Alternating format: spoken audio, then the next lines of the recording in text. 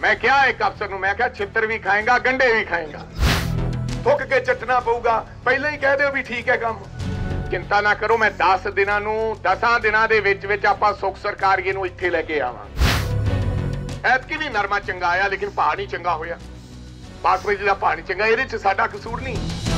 Captain Amarinder Singh ਨੇ ਕੋਈ ਆਦੇਸ਼ ਨਹੀਂ ਦਿੱਤਾ ਕਿ ਲਿਫਟ ਪੰਪ ਬੰਦ ਕਰ ਤੇ ਜੇ ਫਿਰ ਕੈਪਟਨ ਅਮਰਿੰਦਰ ਸਿੰਘ ਦਾ ਆਦੇਸ਼ ਹੋਵੇ ਤੇ ਫਿਰ ਆ ਕਾਂਗਰਸੀ ਇੱਥੇ ਕਮ ਸੇ ਕਮ ਮੈਂ ਤਾਂ ਡਾਲੀ ਜਾਵਾਂ।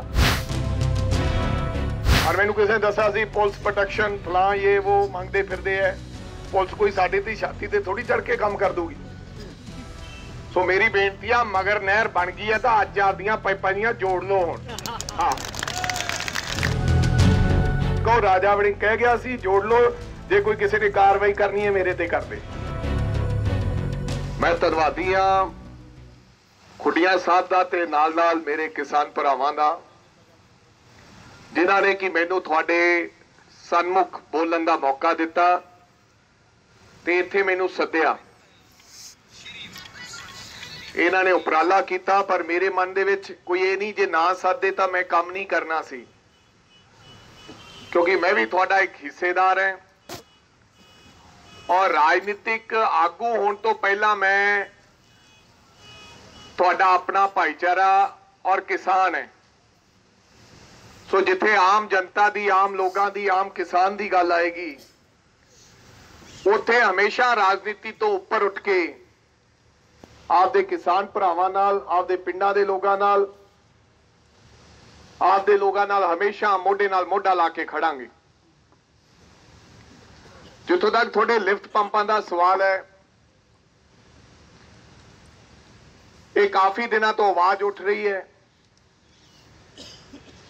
ਕੈਪਟਨ ਅਮਰਿੰਦਰ ਸਿੰਘ ਜੀ ਕਿਸਾਨਾਂ ਦੇ ਖਿਲਾਫ ਨਹੀਂ ਹੈ। ਹਾਲਾਂਕਿ ਕਿਸਾਨਾਂ ਦੇ ਮਸੀਹਾ ਹੈ ਕੈਪਟਨ ਅਮਰਿੰਦਰ ਸਿੰਘ। ਜਦੋਂ ਜਦੋਂ ਸਰਕਾਰਾਂ ਬਣੀਆਂ, ਬੇਸ਼ੱਕ ਇੱਥੇ ਸਾਰੀਆਂ ਸਾਂਝੀਆਂ ਪਾਰਟੀਆਂ ਦੇ ਆਗੂ ਸਹਿਬਾਨ ਬੈਠੇ। ਅਕਾਲੀ ਦਲ ਨਾਲ ਸੰਬੰਧ ਰੱਖਣ ਵਾਲੇ, ਕਿਉਂਕਿ ਪਹਿਲਾਂ ਆਪਾਂ ਇਨਸਾਨ ਹੈ, ਫਿਰ ਕਿਸਾਨ ਹੈ, ਫਿਰ ਆਪਾਂ ਅਲੱਗ-ਅਲੱਗ ਪਾਰਟੀਆਂ ਦੇ ਆਗੂ ਸਹਿਬਾਨ ਹੈ। ਸਭ ਤੋਂ ਪਹਿਲਾਂ ਆਪਾਂ ਨੂੰ ਆਪਣਾ ਭਾਈਚਾਰਾ ਹੈ। ਕੋਈ ਕਾਂਗਰਸੀ ਵੀ ਬੈਠੇ ਆ, ਅਕਾਲੀ ਦਲ ਵਾਲੇ ਵੀ ਬੈਠੇ ਆ। ਹੋਰ ਕਿਸੇ ਪਾਰਟੀ ਦੇ ਆਗੂ ਸਹਿਬਾਨ ਵੀ ਇੱਥੇ ਬੈਠੇ ਆ, ਕਿਉਂਕਿ ਆਪਾਂ ਇਸ ਮਸਲੇ ਤੇ ਸਾਰੇ ਇਕੱਠੇ ਆ। ਪਰ ਇਹ ਗੱਲ ਮੈਂ ਜ਼ਰੂਰ ਇਸ ਧਰਨੇ 'ਚ ਕਹਿਣਾ ਚਾਹਣਾ ਹੈ, ਇਸ ਮੋਰਚੇ 'ਚ ਤੁਹਾਨੂੰ ਦੱਸਣਾ ਚਾਹਣਾ ਕਿ ਜਦੋਂ ਜਦੋਂ ਕਾਂਗਰਸ ਪਾਰਟੀ ਦਾ ਰਾਜ ਆਇਆ ਜਾਂ ਕੈਪਟਨ ਅਮਰਿੰਦਰ ਸਿੰਘ ਦੀ ਗੱਲ ਬਣੀ, ਕਿਸਾਨ ਖੁਸ਼ਹਾਲ ਹੋਇਆ। ਚਾਹੇ ਫਸਲਾਂ ਦੀ ਗੱਲ ਲਾ ਲਓ ਚਾਹੇ ਨਰਮੇ ਦੀ ਗੱਲ ਲਾ ਲਓ, ਨਾ ਸੁੰਡੀ ਆਈ, ਨਾ ਚਿੱਟੀ ਮੱਖੀ ਆਈ, ਨਾ ਸਪਰੇਆਂ ਵਧੀਆ, ਝੋਨੇ। ਮੈਂ ਇੱਥੇ ਇਹ ਵੀ ਕਿਸ ਜੱਟ ਹੋਣ ਦੇ ਨਾਤੇ ਕਵਾਂਗਾ ਕਿ ਗਿੱਲਾ ਝੋਨਾ ਵੀ ਆਪਾਂ ਬਾਬਾ ਸੁੱਖ ਇਸ ਵਾਰੀ 2.5 ਸਾਲਾਂ ਦੇ ਵਿੱਚ ਮਾੜਾ ਮੋਟਾ ਸਲਾਬਿਆ ਵੀ ਆਪਣਾ, ਐ ਚੱਕਿਆ ਗਿਆ। ਨਹੀਂ ਤਾਂ ਸੁੱਕੇ ਨੇ ਵੀ ਹੱਥ ਮਾਰ ਕੇ ਐ ਵੇਖਦੇ ਸੀ, ਅਗਲਾ ਕਹਿੰਦਾ, ਨਾ ਬਈ, ਵੱਟਾ ਲੱਗੂਗਾ। ਭਾਅ ਵੀ ਚੰਗੇ ਮਿਲੇ ਠੀਕ ਹੈ ਇਸ ਵਾਰੀ ਬਾਸਮਤੀ ਦਾ ਭਾਅ ਘੱਟ ਹੈ ਪਰ ਕਿਸੇ ਨੂੰ ਮੈਂ ਪੂਰੇ ਮੁਕਸਰ ਚ ਕਿਉਂਕਿ ਮੈਂ ਆਪ ਧਰਨੇ ਲਾਉਂਦਾ ਹੁੰਦਾ ਸੀ ਮੈਂ ਕਿਸੇ ਕਿਸਾਨ ਨੂੰ ਨਹੀਂ ਵੇਖਿਆ ਵੀ ਮੇਰਾ ਝੋਨਾ ਨਹੀਂ ਤੋੜ ਰਿਹਾ ਤੇ ਮੈਂ ਧਰਨੇ ਤੇ ਬੈਠਾ ਵੀ 20 20 ਦਿਨ ਹੋ ਗਏ ਘਰਾਂ ਚੋਂ ਆ ਕੇ ਚੱਕ ਕੇ ਲੈ ਗਏ ਕਿਉਂਕਿ ਪਾਲਿਸੀ ਇਹੋ ਜੀ ਸਕੀਮ ਇਹੋ ਜੀ ਬਣਾ ਕੇ ਕਿਸਾਨ ਵਾਸਤੇ ਲਿਆਈ ਦੀ ਸੀ ਚਲੋ ਬਾਲਾ ਨਹੀਂ ਕਰ ਸਕੇ ਤੁਹਾਡੇ ਨਾਲ ਲੇਕਿਨ ਤਿਲ ਫੁੱਲ ਭੇਟਾ ਕਦੇ ਕਿਸੇ ਸਰਕਾਰ ਨੇ ਹਿੰਦੁਸਤਾਨ ਦੇ ਅੰਦਰ ਕਿਸੇ ਕਿਸਾਨ ਦੇ 50000 ਰੁਪਇਆ ਨਹੀਂ ਮਾਫ ਕੀਤਾ। ਜਾਂ ਤਾਂ ਮਨਮੋਹਨ ਸਿੰਘ ਮਾਫ ਕਰ ਗਿਆ ਸੀ। ਮੈਂ ਨਹੀਂ ਕਹਿੰਦਾ ਵੀ ਕਿਸਾਨ ਦਾ 25 ਲੱਖ ਹੋ ਗਿਆ। ਮੈਂ ਨਹੀਂ ਕਹਿੰਦਾ ਕਿਸੇ ਦਾ 20 ਲੱਖ ਹੋ ਗਿਆ। ਉਦੋਂ ਹੋਇਆ ਸੀ 77000 ਕਰੋੜ ਰੁਪਇਆ ਮਾਫ ਡਾਕਟਰ ਮਨਮੋਹਨ ਸਿੰਘ ਵੇਲੇ। ਤੇ ਇਸ ਵਾਰੀ 2-2 ਲੱਖ ਰੁਪਇਆ। ਕਿਸੇ ਦਾ ਡੂੜ, ਕਿਸੇ ਨੂੰ 70000 ਮੈਂ ਨਹੀਂ ਕਹਿੰਦਾ ਵੀ ਅਸੀਂ ਬਾਹਲੇ ਚੰਗੇ। ਪਰ ਅਸੀਂ ਰੂਟੀਨ ਚ ਕਿਸਾਨਾਂ ਦੇ ਪੱਖ ਨੂੰ ਚੰਗੇ। ਪਾਣੀ ਦਾ ਮਸਲਾ ਸੀ, ਹਰਚੰਦ ਸਿੰਘ ਬਰਾੜ ਵੇਲੇ ਸਬਸਿਡੀ ਦਿੱਤੀ ਇਹਨਾਂ ਮੋਗਿਆਂ ਤੇ। ਉਹ ਅੱਜ ਨਹੀਂ ਰਹੇ। 100% ਮੇਰੇ ਖਿਆਲ 100% ਸੀ ਕੁੜੀਆਂ ਸਾਹਿਬ ਉਦੋਂ ਬਲਕਾਰ ਜੀ। 100% ਸਬਸਿਡੀ ਦਿੱਤੀ ਉਦੋਂ। ਕਿ ਸਾਰੇ ਦਾ ਸਾਰਾ ਮੁਫਤ ਦਾ ਕੰਮ। ਆ ਪਾਈਪਲਾਈਨਾਂ ਦੇ ਕੰਮ, ਮੈਂ ਦਾਅਵੇ ਨਾਲ ਕਹਿ ਸਕਦਾ 35 36 ਕਰੋੜ ਰੁਪਏ ਦਾ ਆਇਆ ਸੀ 17 ਕਰੋੜ ਰੁਪਏ ਦੀਆਂ ਇੱਕੀ ਕੱਲੀਆਂ ਪਾਈਪਲਾਈਨਾਂ ਗਿੱਦੜ ਵਿੱਚ ਪਾਈਆਂ। ਕਿਸਾਨ ਦੇ ਆਸੇ। ਸੋ ਸਾਰਾ ਕੁਝ ਨਹੀਂ ਕਰ ਸਕੇ ਲੇਕਿਨ ਆਮ ਸਰਕਾਰਾਂ ਨਾਲੋਂ ਕਾਂਗਰਸ ਪਾਰਟੀ ਦੇ ਰਾਜ ਵਿੱਚ ਪਹਿਲਾਂ ਅਮਰੀਕਨ ਸੁੰਡੀ ਹੁੰਦੀ ਸੀ, ਨਰਮਾ ਨਹੀਂ ਹੁੰਦੀਆਂ ਸੀ। ਉਹਨੂੰ ਲੋਕ, ਮੈਂ ਨਿੱਕਾ ਜਿਹਾ ਸੀ ਫੜ ਫੜ ਕੇ ਡੱਬਿਆਂ ਛੱਡਦੇ ਹੁੰਦੇ ਸੀ। ਨਰਮਾ ਹੋਣ ਲੱਗਿਆ, ਬੀਟੀ ਕੱਟ ਆਈ ਭਾ ਚੰਗੇ ਆਏ। ਐਤਕੀ ਵੀ ਨਰਮਾ ਚੰਗਾ ਆਇਆ, ਲੇਕਿਨ ਭਾ ਨਹੀਂ ਚੰਗਾ ਹੋਇਆ। ਬਾਸਮਤੀ ਦਾ ਭਾ ਨਹੀਂ ਚੰਗਾ, ਇਹਦੇ 'ਚ ਸਾਡਾ ਕਸੂਰ ਨਹੀਂ। ਲੇਕਿਨ ਇਹ ਨਹੀਂ ਕੋਈ ਦਵਾਈ ਮਾੜੀ ਆ ਗਈ, ਮੱਖੀ ਪੈ ਗਈ, ਫਲਾਂ ਪੈ ਗਿਆ। ਕਿਸਾਨ ਦੇ ਪੱਖ ਨੂੰ ਕੈਪਟਨ ਅਮਰਿੰਦਰ ਸਿੰਘ ਨੇ ਹਮੇਸ਼ਾ ਤਰਜੀਹ ਦਿੱਤੀ। ਔਰ ਅੱਜ ਇਹ ਪਾਣੀ ਦਾ ਮਸਲਾ ਹੈ। ਮੈਂ ਤੁਹਾਨੂੰ ਇਹ ਬੇਨਤੀ ਕਰਨੀ ਚਾਹਣਾ ਹੈ, ਕੈਪਟਨ ਅਮਰਿੰਦਰ ਸਿੰਘ ਦੇ ਵਿਚਾਰਿਆਂ ਦੇ। ਇਹ ਥੱਲੇ ਜਿਹੜੇ ਅਫਸਰ ਹੈ ਨਾ, ਇਹਨਾਂ ਦੀ ਪਤਾ ਨਹੀਂ ਜੋ ਤੁਸੀਂ ਕਿਹਾ, ਬੋਲਦੇ ਹੋਏ ਸਾਡੇ ਸਟੇਜ ਸਕੱਤਰ ਸਾਹਿਬ ਨੇ ਕਿਹਾ, ਖੁੱਡੀਆਂ ਸਾਹਿਬ ਨੇ ਕਿਹਾ, ਅਫਸਰਾਂ ਦਾ ਪਤਾ ਨਹੀਂ ਕੋਈ ਕੀ ਸਿਸਟਮ ਹੁੰਦਾ। ਕੀ ਚਾਹੁੰਦੇ ਆ, ਕਈ ਵਾਰੀ ਉਹੀ ਖਾਰ ਹੁੰਦੀ ਹੈ। ਮੈਨੂੰ ਇਹ ਵੀ ਪਤਾ ਦੱਸਿਆ, ਕਿਸੇ ਦਾ ਵੀ ਗਾਂ ਜ਼ਮੀਨ ਰਾਜਸਥਾਨ ਚ ਪੈਂਦੀ ਹੈ। ਤਾਂ ਕਰਕੇ ਵੀ ਹੋ ਸਕਦਾ ਕੋਈ ਕਿਸੇ ਦਾ ਲਾਲਚ ਹੋਵੇ, ਕਿਸੇ ਅਫਸਰ ਦਾ। ਪਰ ਮੇਰੇ ਕਹਿਣ ਦਾ ਮਤਲਬ ਇਹ ਹੈ ਕਿ ਕੈਪਟਨ ਅਮਰਿੰਦਰ ਸਿੰਘ ਨੇ ਕੋਈ ਆਦੇਸ਼ ਨਹੀਂ ਦਿੱਤਾ ਕਿ ਲਿਫਟ ਪੰਪ ਬੰਦ ਕਰ ਦੇ। ਇਹ ਕੋਈ ਆਦੇਸ਼ ਨਹੀਂਗਾ ਤੇ ਜੇ ਫਿਰ ਕੈਪਟਨ ਅਮਰਿੰਦਰ ਸਿੰਘ ਦਾ ਆਦੇਸ਼ ਹੋਵੇ, ਤੇ ਫਿਰ ਆ ਕਾਂਗਰਸੀ ਇੱਥੇ ਕਮ ਸੇ ਕਮ ਮੈਂ ਤਾਂ ਟਾਲੀ ਜਾਵਾਂ। ਇਹ ਬਿਲਕੁਲ ਆਦੇਸ਼ ਨਹੀਂ, ਇਹ ਥੱਲੇ ਮੰਮਲ ਮੁੱਥੇ ਕੰਮ ਹੋਈ ਜਾਂਦਾ ਹੈ। ਵੀ ਨਹੀਂ ਜੀ, ਉਹ ਤਾਂ ਪਾਣੀ ਵੱਧ ਲੈ ਜਾਂਦੇ ਆ ਖਿੱਚ ਜਾਂਦੇ ਆ ਜੀ, ਉਹ ਸਾਰਾ ਪਾਣੀ ਗਾਹ ਨਹੀਂ ਜਾਂਦਾ ਜੀ, ਇਹ ਤਾਂ ਵੱਧ ਲਾ ਲੈਂਦੇ ਆ। ਪੱਟੀ ਪੜਾ ਕੇ ਜਦੋਂ ਕਿਸੇ ਨੂੰ ਨਹੀਂ ਪਤਾ ਹੁੰਦਾ, ਕਈ ਵਾਰੀ ਨਵਾਂ ਅਫਸਰ ਆਉਂਦਾ ਹੈ, ਵੱਡਾ ਸੈਕਟਰੀ ਆਉਂਦਾ, ਉਹਨੂੰ ਨਹੀਂ ਪਤਾ, ਉਹਨੂੰ ਆਪਦੇ ਤਰੀਕੇ ਨਾਲ ਗੱਲਾਂ ਸਮਝਾਉਂਦੇ ਆ। ਉਹਨੂੰ ਲੱਗਦਾ ਕਿ ਯਾਰ ਵਾਕਈ ਐਵੇਂ ਹੋਣਾ ਕੰਮ ਇਹ ਤਾਂ ਗਲਤ ਗੱਲ ਹੈ, ਦੂਜਿਆਂ ਦਾ ਹਿੱਸਾ ਖਾ ਗਏ ਇਹ ਤਾਂ। ਇਹ ਬੜਾ ਮਾੜੇ ਬੜੇ ਚੋਰ ਹੈ, ਐ ਨਹੀਂ ਪਤਾ ਸਾਡੇ ਤਾਂ ਆਪਦੇ ਨਹੀਂ ਪੂਰਾ ਹੁੰਦਾ। ਉਹ ਜਦੋਂ ਗੱਲ ਸਮਝਾਈ ਹੁਣ ਜਦੋਂ ਇੱਥੇ ਆਊਗਾ ਬੰਦਾ ਤਾਂ ਪਤਾ ਲੱਗੂ ਇਹ ਤਾਂ ਮੈਨੂੰ ਹੀ ਪਤਾ ਵੀ ਗਾਂ ਇਹ ਤੋਂ ਬਾਅਦ ਰਾਜਸਥਾਨ ਨੂੰ ਜਾਂਦਾ ਪਾਣੀ ਉਹਨਾਂ ਨੇ ਕਿਹਾ ਜੀ ਰਾਹ 'ਚ ਹੀ ਲੈ ਜਾਂਦੇ ਆ।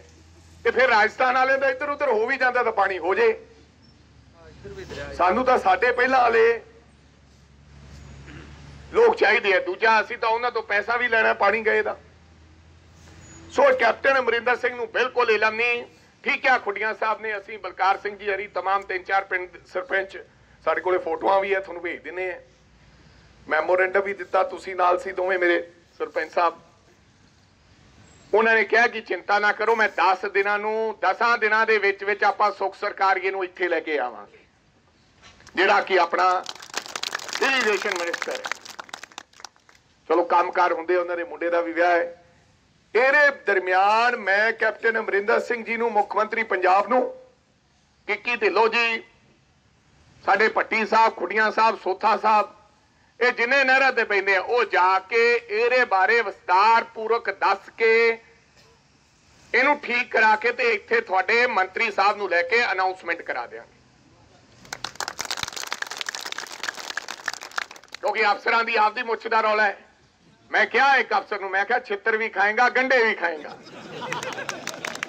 ਹੋਣਾ ਕੱਖ ਨਹੀਂ, ਐਵੇਂ ਸਾਨੂੰ ਖਰਾਬ ਕਰੇਗਾ। ਗੰਡੇ ਵੀ ਖਾਓਗੇ ਛਿੱਤਰ ਵੀ ਖਾਓਗੇ ਉਸ ਗੱਲ ਦਾ ਕੋਈ ਫਾਇਦਾ ਨਹੀਂ। ਹਾਂ। ਰਾਣਾ ਨਹੀਂ ਨਹੀਂ, ਚਲੋ। ਆਪਾਂ ਕਿਸੇ ਦੇ ਛਿੱਤਰ, ਮੇਰੇ ਕਹਿਣ ਦਾ ਮਤਲਬ, ਛਿੱਤਰ ਮਾਰਨ ਤੇ ਗੰਡੇ ਖਾਣ ਤੋਂ ਕਹਿਣ ਦਾ ਮਤਲਬ ਵੀ ਥੁੱਕ ਕੇ ਚੱਟਣਾ ਪਊਗਾ। ਪਹਿਲਾਂ ਹੀ ਕਹਿ ਦਿਓ ਵੀ ਠੀਕ ਹੈ ਕੰਮ।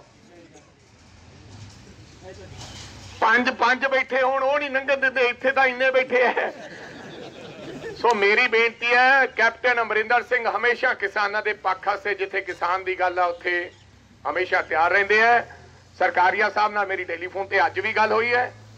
ਕਿਸੇ ਪੱਤਰਕਾਰ ਸਾਥੀ ਨੇ ਉਹਨਾਂ ਨਾਲ ਗੱਲ ਕਰਕੇ ਪੁੱਛਣੀ ਹੈ ਤਾਂ ਪੁੱਛ ਸਕਦੇ ਹੋ। ਮੈਂ ਉਹਨਾਂ ਨੂੰ ਕਹਿ ਕੇ ਆਇਆ ਵੀ ਮੈਂ ਧਰਨੇ ਚੱਲਿਆ ਤੇ ਤੁਹਾਡੇ ਨੂੰ ਵਿਸ਼ਵਾਸ ਦਿਵਾਉਣਾ ਹੈ ਕਿ 50-7 ਦਿਨਾਂ ਦੇ ਵਿੱਚ ਸਰਕਾਰੀਆ ਸਾਹਿਬ ਨੂੰ ਇੱਥੇ ਲੈ ਕੇ ਆਵਾਂਗੇ, ਕਿਸਾਨਾਂ ਦਾ ਮਸਲਾ ਹੱਲ ਕਰਾਵਾਂਗੇ।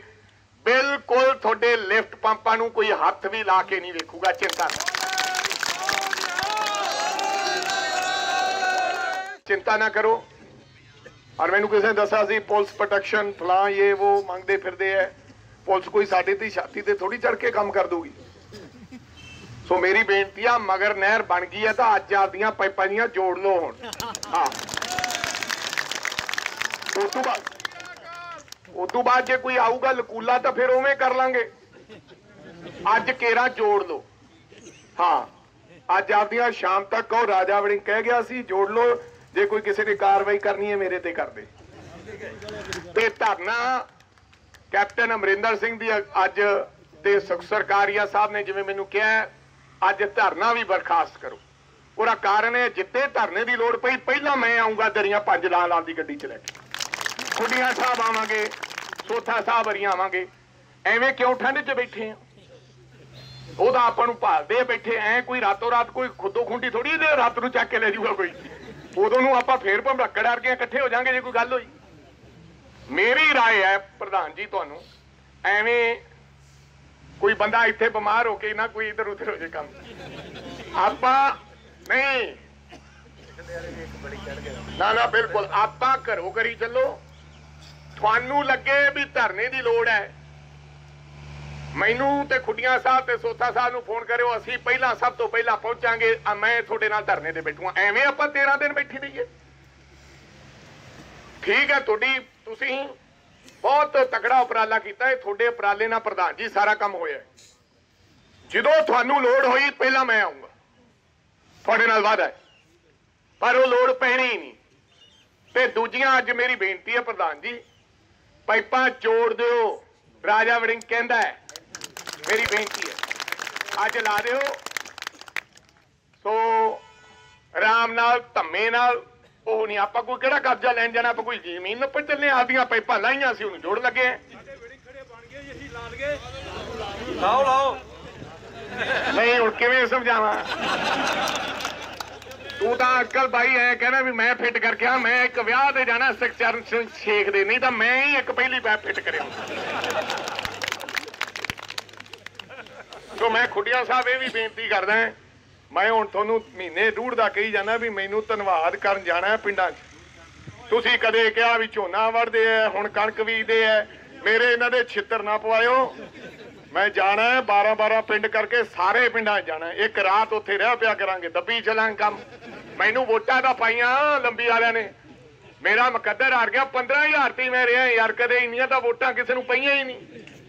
ਕੋਈ ਫ਼ਰਕ ਨਹੀਂ ਪੈਂਦਾ, ਪਰ ਮੈਨੂੰ ਲੰਬੀ ਵਾਲੇ ਬਹੁਤ ਪਿਆਰੇ ਤੇ ਚੰਗੇ ਲੱਗਦੇ ਤੁਸੀਂ ਤਾਂ ਸਾਰੇ ਜਾਣੇ ਜੁਝਾਰੂ ਲੋਕ ਹੋ ਤੇ ਕਿਸਾਨ ਭਰਾ ਦੀ ਜਿੱਥੇ ਗੱਲ ਹੈ, ਉੱਥੇ ਤਾਂ ਆਪਣਾ ਸਿਰ ਝੁਕਦਾ ਕਿਸਾਨ ਭਰਾਵਾਂ ਥੱਲੇ। ਸੋ ਮੇਰੀ ਬੇਨਤੀ ਹੈ ਬਲਕਾਰ ਸਿੰਘ ਜੀ, ਤੁਹਾਨੂੰ ਹੱਥ ਜੋੜ ਕੇ ਕਿਰਪਾ ਕਰਕੇ ਅੱਜ ਦਾ ਧਰਨਾ ਇਹ ਅੱਜ ਤੋਂ ਬਾਅਦ ਬਰਖਾਸਤ ਕਰੋ। ਜੇ ਲੋੜ ਪਈ ਤਾਂ ਆਪਾਂ ਦੁਬਾਰੇ ਲਾਵਾਂਗੇ ਤੇ ਕੈਪ, ਨਾਲ ਆਵਾਂਗੇ ਤੇ ਕੈਪਟਨ ਅਮਰਿੰਦਰ ਸਿੰਘ ਦੁਬਾਰਾ ਫੇਰ ਕਹਿ ਰਹੇ ਆ ਪੱਤਰਕਾਰ ਮੇਰੇ ਭਰਾ ਸੁਣ ਲਓ ਭਾਈ। ਮੁੜ ਕੇ ਕਹੀ ਐ ਉਲਟੀ ਫੁਲਟੀ ਲਾ ਦਿੰਦਾ ਜਾ ਕੇ ਖਬਰ। ਕੈਪਟਨ ਅਮਰਿੰਦਰ ਸਿੰਘ ਦੀ ਅਗਵਾਈ 'ਚ ਹਮੇਸ਼ਾ ਕਿਸਾਨਾਂ ਨੇ ਤਰੱਕੀ ਕੀਤੀ ਹੈ। ਔਰ ਕੈਪਟਨ ਅਮਰਿੰਦਰ ਸਿੰਘ ਤੇ ਸਰਕਾਰੀਆ ਸਾਹਿਬ ਦੀ ਅਗਵਾਈ ਦੇ ਵਿੱਚ ਕਿਸੇ ਕਿਸਾਨ ਦਾ ਪਾਣੀ ਬੰਦ ਨਹੀਂ ਹੋਊਗਾ। 5-5 ਇੰਚੀ ਵੱਧ ਦੇ ਦਿਆਂਗੇ ਚਿੰਤਾ ਨਾ ਕਰੋ। ਤੁਹਾਡਾ ਸਾਰਿਆਂ ਦਾ ਧੰਨਵਾਦ। ਤੁਸੀਂ ਮੈਨੂੰ ਸੱਦਿਆ। ਇਹਨੇ ਸ਼ਬਦਾਂ ਨਾਲ ਹਾਜ਼ਰੀ ਕਰਿਓ। ਪ੍ਰਵਾਨ ਜੇ ਮੇਰੀ ਗੱਲ ਕਿਸੇ ਨੂੰ ਗਲਤ ਲੱਗੀ ਹੋਵੇ ਤਾਂ ਮੈਂ ਉਹਦੇ ਤੋਂ ਹੱਥ ਜੋੜ ਕੇ ਮਾਫੀ ਮੰਗਦਾ ਹਾਂ। ਇਹ ਆਪਣਾ ਭਾਈਚਾਰੇ ਦਾ ਇਕੱਠ ਹੈ। ਸਰ ਤਾਂ ਹੀ ਤਾਂ ਪੈਪਾ ਪਾਉਣ ਆ ਜਾਂਦੇ ਆ ਨਾ ਜਦੋਂ ਅੱਜ ਕੱਲ ਬਾਈ ਜੋ ਧਰਨੇ ਤੇ ਬੈਠੇ ਬਾਈ ਪੱਠੇ ਲੈਣ ਜਾਣਾ ਉਹਨਾਂ ਨੂੰ ਪਤਾ ਇਹ 2 ਘੰਟੇ ਬੈਠਣਗੇ ਉੱਠ ਜਾਣਗੇ। ਇਹ ਜਿੰਨਾ ਚਿਰ ਉਹਨਾਂ ਨੂੰ ਗੱਲ ਜੱਜੀ ਰਹਿੰਦੀ ਹੈ ਨਾ, ਅਫਸਰਾਂ ਨੂੰ ਵੀ ਤਾਂ 5 ਘੰਟੇ ਵਾਲੇ 5 ਘੰਟੇ ਵਾਲੇ ਨਹੀਂ, ਉਹਨਾਂ ਨੂੰ ਕਹੋ ਵੀ ਮਰਨਾ ਪਿਆ ਤਾਂ ਮਰ ਵੀ ਜਾਵਾਂਗੇ ਫਿਰ ਕੋਈ ਨਹੀਂ ਨੇੜੇ ਆਉਂਦਾ। ਸੋ ਤਗੜੇ ਹੋ ਕੇ ਭਾਈਚਾਰੇ ਦਾ ਇਕੱਠ ਹੈ, ਸਾਂਝਾ ਇਕੱਠ ਹੈ, ਪਾਰਟੀਆਂ ਤੋਂ ਉੱਪਰ ਉੱਠ ਕੇ ਇਕੱਠ ਹੈ। ਮੈਂ ਤੁਹਾਡਾ ਧੰਨਵਾਦੀ ਹਾਂ, ਜਿੰਨੇ ਵੀ ਸਾਰੀਆਂ ਆਗੂ ਸਹਿਬਾਨ ਇੱਥੇ ਆਏ ਆ, ਅਲੱਗ-ਅਲੱਗ ਪਿੰਡਾਂ ਤੋਂ ਆਏ ਆ। ਬੇਸ਼ੱਕ ਕਿਸੇ ਨਾਲ ਉਹ ਸੰਬੰਧ ਰੱਖਦਾ ਹੈ ਰਾਜਨੀਤਿਕ ਤੌਰ ਤੇ। ਪਰ ਇਸ ਮੁੱਦੇ ਤੇ ਇਕੱਠੇ ਉਹ ਜਿੰਨੇ ਲੋਕ ਆਏ ਆ, ਮੈਂ ਉਹਨਾਂ ਨੂੰ ਜੀ ਆਇਆਂ ਕਹਿਣਾ ਤੇ ਧੰਨਵਾਦੀ ਧੰਨਵਾਦ ਕਰਦਾ ਵਾਹਿਗੁਰੂ ਜੀ ਕਾ ਖਾਲਸਾ। ਸ੍ਰੀ ਵਾਹਿਗੁਰੂ